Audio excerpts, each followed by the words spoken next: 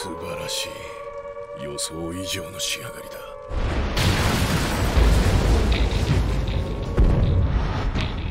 女型の巨人。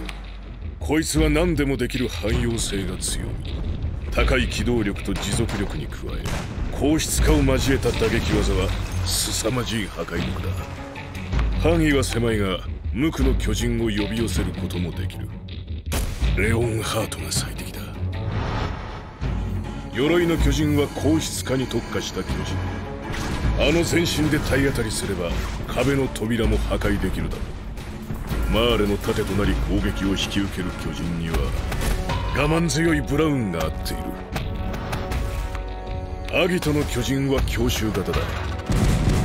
小ぶりな分最も素早く強力な爪と顎で大抵のものは砕ける。起点の利くマルセルに託した。獣の巨人は相変わらずだ。他より多少でかいってだけの巨人がまさか投球技術でここまで恐ろしい兵器になっちまうとはな。何より奴の血には秘めた力がある。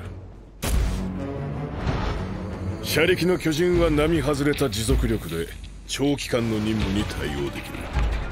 用途に合わせた並走も可能で作戦の幅が広がる。判断力のあるピークで間違いないだろう。そして超大型巨人。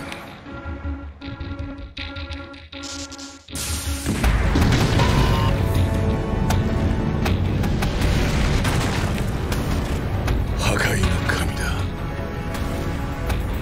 フーバーなら使いこなせるだろう。